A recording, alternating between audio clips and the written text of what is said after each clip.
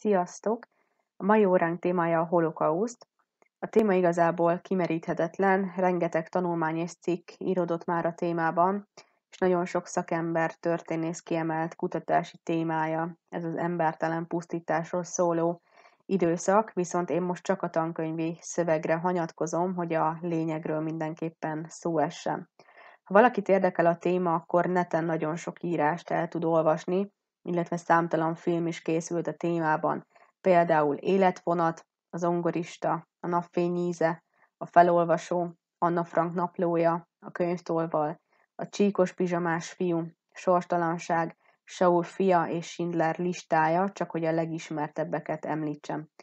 Hitler a németek legfőbb ellenségeként a zsidóságot jelölte meg, ezért hatalomra jutása után olyan intézkedéseket hoztak, amelyek korlátozták a zsidó lakosság szabadságát, a háború kitörése után pedig a teljes megsemmisítésükre törekedtek. Németországban és a németek által megszállt országokban pusztán zsidó származása miatt több millió embert gyilkoltak meg a háború alatt, és ezt az iszonyú népírtást nevezzük holokausznak. Hitler a fajelmélet elvakult hirdetője volt, a fajelmélet tudományosan nem megalapozott, hazug és veszélyes elmélet, és ez szerint az emberi fajok között vannak felsőbbrendűek és alsóbbrendűek. És a felsőbbrendű fajok kiváló tulajdonságaikat pedig csak akkor tudják megőrizni, ha nem keverednek más fajokkal. Hitler hatalomra kerülése után mindenki származását ellenőrizték, és akiről kiderült, hogy a szülei vagy a nagyszülei között zsidó, cigány vagy fekete bőrű is volt, másodrendű állampolgárrá vált. Kitiltották a németek által használt éttermekből és közlekedési eszközökről, ha valaki orvos vagy tanár volt, akkor az nem végezhette szabadon a hivatását. A nácik feldúlták a zsidók üzleteit, és fajárulóknak nevezték azokat a németeket, akik zsidóktól vásároltak. A náci törvények megtiltották a házasságot az árjának mondott németek és a zsidók, a cigányok, valamint a fekete bőrűek között. Az állami propaganda által szított ellenséges légkörben pedig megszaporodtak, és egyre durvábbá váltak a zsidókat ért utcai megaláztatások és bántalmazások. 1938. november 9-én és 10-én meghirdették a Kristály éjszaka néven elhíresült pogromot.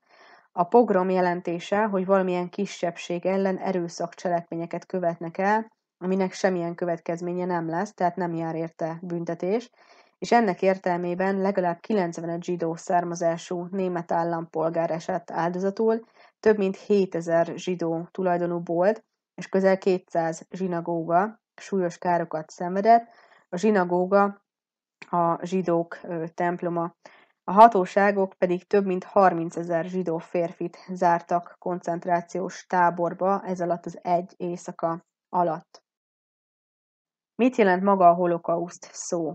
Görög eredetű, és a jelentése égő áldozat, és történelmi fogalomként is használjuk, a második világháború alatt lezajlott népírtást jelenti, aminek az volt a célja, hogy a teljes európai zsidóságot megsemmisítsék.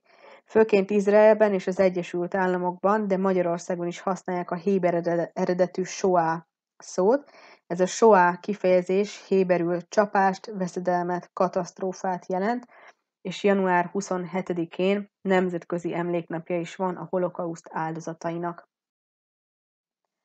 A háború kitörése után a náciknak már nem kellett törődniük a nemzetközi közvéleménnyel, tehát bármit megtehettek következmények nélkül. Lengyelországban és a Szovjetunióban tömeges kivégzésekre került sor, ahol a zsidó közösségek és családok minden tagját megölték, beleértve a gyermekeket is. A városokban az ottani teljes zsidó lakosságot összezsúfolták a németek által kijelölt területre, és a sárga hatágú Dávid csillag viselésére kötelezték őket, tehát külső jeggyel is megbélyegezték ezeket a zsidó származású embereket. A kevés élelmiszer és a rossz körülmények következtében már a gettókban, tehát a zsidó negyedekben is elviselhetetlenné vált az élet. Az éjségtől és a betegségektől már sokan itt meghaltak. A nemzeti szocialista vezetőknek azonban ez nem volt elég, és Hitler az európai zsidóság teljes elpusztítását akarta, ezért haláltáborokat állítottak fel, ahol gázkamrákban naponta ezrével gyilkolták meg a megszállt országokból vasúton és erőszakkal elhurcolt embereket. A megtévesztő módon végső megoldásnak nevezett terv végrehajtása során 1942 és 45 között 6 millió zsidó ember, köztük másfél millió gyermek esett áldozatul a nácik által elkövetett tömeggyilkosságnak. Most kérlek másod le a vázlatot a füzetedbe, majd old meg a munkafüzetben kijelölt feladatokat, és láthatod, hogy a 114. oldalon a 2-es C és B jelű feladatnál a saját véleményedre vagyok kíváncsi, kérlek ezt írd le a füzetedbe, mert a feladat nem ezt kéri.